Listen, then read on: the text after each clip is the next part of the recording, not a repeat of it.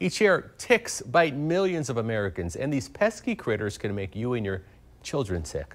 Melanie Lawson tells us some of the best ways to keep them away.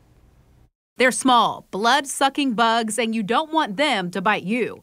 A tick can spread serious diseases like Lyme disease, Rocky Mountain spotted fever, tularemia, and others. It's very important for people to protect themselves against getting tick bites. To do that, avoid tick infested areas like grassy or wooded spots. Walk in the center of trails. Wear long pants, sleeves, and a hat. It's a good idea to tuck your pants into your socks. Also, use a chemical insect repellent that contains DEET, permethrin, or picaridin.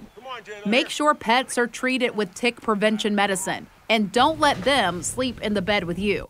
Also, check yourself daily for ticks. The sooner you remove one, the better. Lyme disease is not transmitted unless the tick is attached for at least 36 hours. To remove a tick, use pointed tweezers to grab it as close as possible to your skin. Without squeezing, pull the tick straight out, keeping it intact. If the head remains, leave it. Seal the tick in a plastic zip top bag, rub the bite with alcohol, and wash your hands. But remember, if you can avoid getting exposed to a tick in the first place, that is the best thing you can do for yourself.